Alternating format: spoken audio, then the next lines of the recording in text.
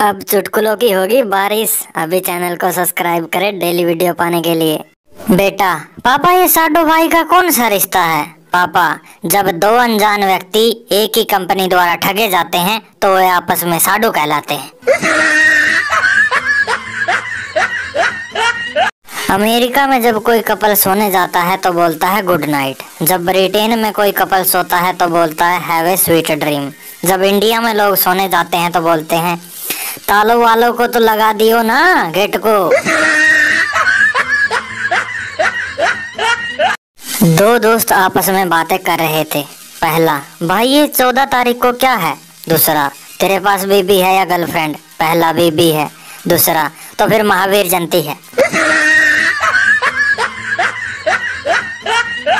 एक मच्छर परेशान बैठा था। दूसरे ने पूछा, क्या हुआ? पहला बोला, यार गजब हो रहा है। चूहेदानी में चूहा, साबुदानी में साबुन, मगर मच्छरदानी में आदमी सो रहा है।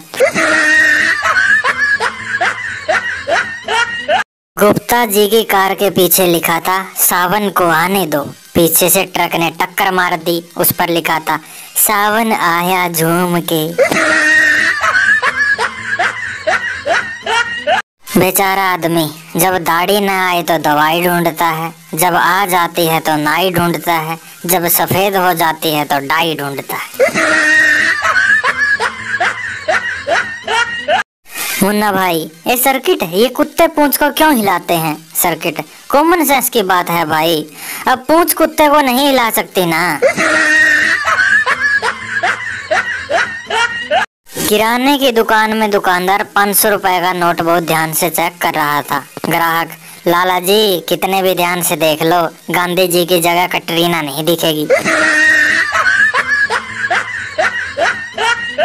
बीबी को पैसे और पाकिस्तान को सबूत, जितने भी दो, कम ही लगते हैं। सोनम गुप्ता ने अपनी लोकप्रियता भुनाने की सोची। यूपी इलेक्शन में लड़ेगी चुनाव। नारा होगा अब की दफ़ा सोनम बेवफा।